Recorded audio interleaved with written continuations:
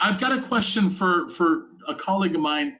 It's it's about Teddy Bridgewater. Yes, sir. Um, and just, I mean, you were there when it happened. And what was the feeling around practice, and how might you feel knowing, you know, that he is back at where he belongs in in, in being a starter in Carolina? Um, light story. Uh, that day in practice, I'll never forget it. Uh, I was running a post. Like I think, I think he was about to. I think it was one of my plays. Like I was about to catch a post. He's ready to chuck it. I'm running downfield, uh, and I hear just like, oh, like one of those kind of situations. I didn't even turn back for a second. I just kind of kept running, and then uh, when I look back, Teddy's on the ground. You kind of could hear a pin drop in the middle of a grass field at that moment. It was that's how quiet it was. And usually, you know, when that when a guy goes down, like kind of move it up a little bit, keep practice going. They kind of they shut practice down, so you know it was pretty bad. Um, everybody, everybody was real distraught. Like I was, I was pretty sad about that at that at that time. More so as a peer, as a brother, um, to know that a guy that does everything right, you know, a guy that grinds and works his butt off to go down in the practice off of like a handoff type of situation. Uh, it, was def- it was definitely uh, unfortunate. At that moment, I remember like everybody was hurt in practice. Everybody was in the locker room like, damn, that's the season you know, uh, things aren't looking good. You know, we we had we were working our way towards that that team camaraderie, that that thing like that, uh, and it kind of like uh, fell short when he got hurt.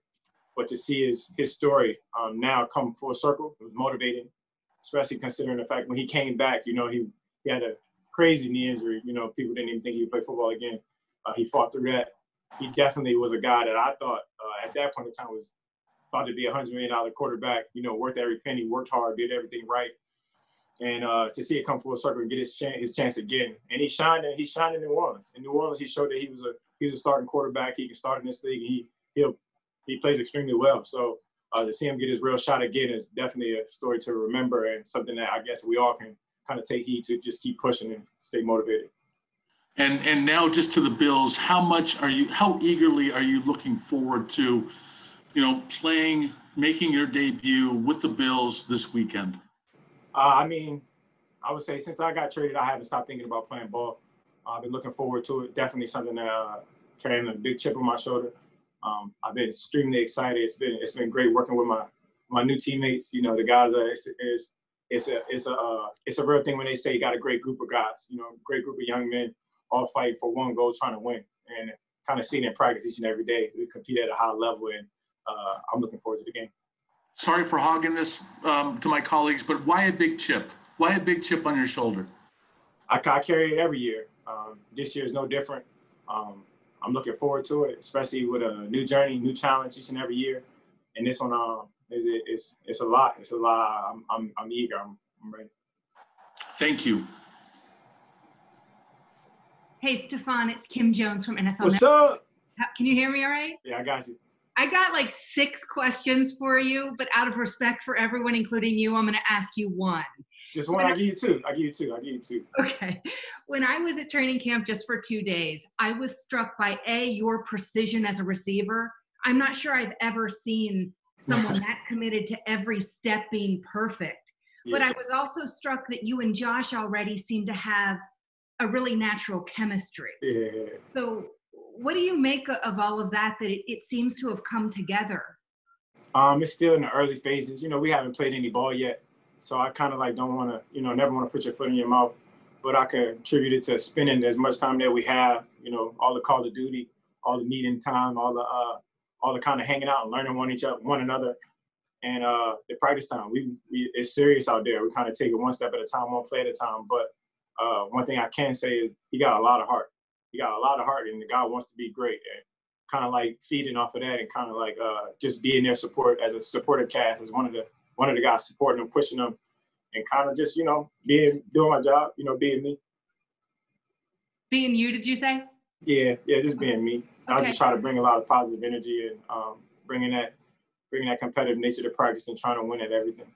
I'll sneak a second one in since you allowed me. Thank you so much. When I, I watch you and Tre'Davious White together, yeah. I think to myself, something tells me they're making each other better out there. Yeah. What was that like? What is that like?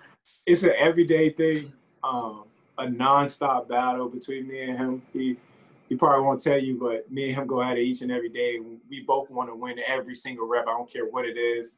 and uh, it's a constant competition. It's kind of good. It's good for your team to have that, especially with guys on both sides of the ball. Um, and we're not gonna stop. It's not gonna stop no time soon. So uh, it's fun. Thank you. See you Sunday. No doubt. Steph Finesse, Mookie Hawkins, Waffle Sports 1080, man. How you doing? What's up, big guy? I'm good. How you doing?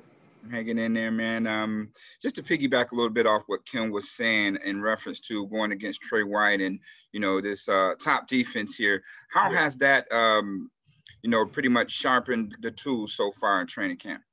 It's been good. Uh, they have like the old saying that says "iron sharpen iron," and you know uh, going against one of the best defenses in the league, in my opinion. You know, and the statistics say what, what they say. But they're they're a team out there. They're feeding off of one another. They play with a lot of energy and each and every day we try to uh, try to stump that, I guess. Or as an offense, you want to you want to um, you want you don't want to beat up on them or nothing like that because you know everybody's giving it their best shot. But uh, you want to have some execution at a high level from the offensive side, just to let them know uh, when game time come around, you get a three and out, or y'all out there giving everything y'all got, we got y'all back too. So it's a constant competition, a healthy competition. So Absolutely. And um, Billsworth want to know what are the experience you learned in Minnesota that would help you in Buffalo? Um, I spent a lot of time out there. You know, uh, it was I, I was a young player out there. I learned I learned a lot out there as far as uh, you know, committing to success. Um, we we had some good years there. We had some bad years there. Um, but as far as like learning your teammates, learning to be around them, and always you know fighting through adversity. So that kind of like gave me you know going into my new situation. I kind of always fought through adversity, the good and the bad.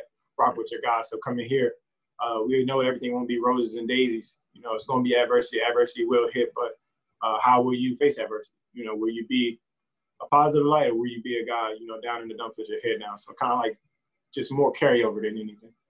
Absolutely, man. I uh, can't wait to see you go off Sunday, man. The city's happy you're here. Good luck. You. Thank you. Appreciate you. Stefon Thad Brown here. Thanks for doing this.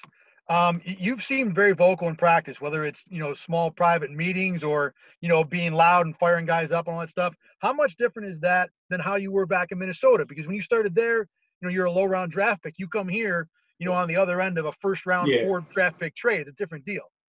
Yeah, uh, it's you, you're working from the car too, so you're you're, you're do what you gotta do, man. I'm, I'm, just messing. Uh, I would say yeah, kind of um, going into my I'm going into my sixth year I was a young player there. You know, you got to earn your keep. My thing is more so earning the respect of your peers, earning the respect of your coaches, and I kind of carried that same thing over here.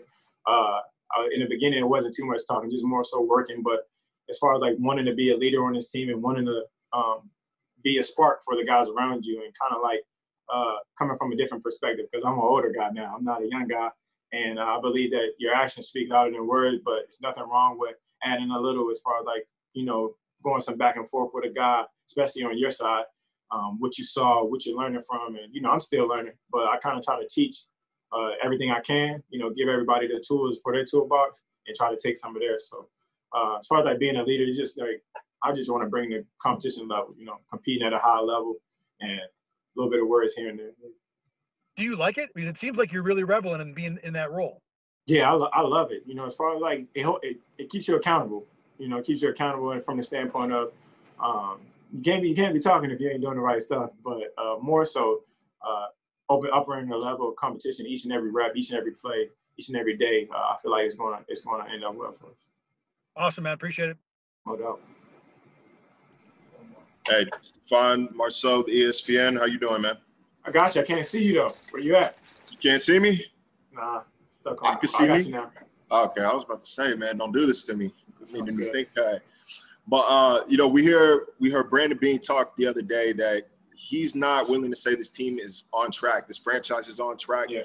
until that AFC East title is back in Buffalo. Yeah. So uh, I'm curious, how has that res- that message resonated through the building? What what are your expectations? What are the um, you know, what is the sense of, of, the team's expectations since you got here? I uh, just yeah. wanted to hear it in your own words. Um, it, it's trickled down 100. percent They got they have Sands all around for like playoff caliber and you know having championship effort on a daily basis. Uh, it trickles down. You know, we we expect to play well because we want to you know we want to practice well. You want to execute at a, at a high level. You want to do everything right. You want to you know as far as like just fundamentally being fundamentally sound and executing. That's the number one deal. So I'm not a guy that you know goes out and goes in with the expectation of uh, like I want this to happen, I want that to happen. You got to make it happen. And each and every day, you it's one small step to the in the in the right direction to me at least. So um, I'm looking forward to it. You know, it's the first game this week, but we got two more days of practice to keep stacking these bricks, and uh, we only can be one to know this week. You know, just trying to do everything we can to put ourselves in the best position to win. And, and following up on that, I mean, you say yourself, you're a guy that plays with a chip on his shoulder. This is the franchise that's had a tough 20 years, man. But at this point, I think it's safe to say the Buffalo Bills have a chip on their shoulder as well when it comes to, you know, looking for respect from the league. Does this kind of seem like a like a match made in heaven for you? Does this seem like a pretty good, yeah, especially good franchise for you to be part of?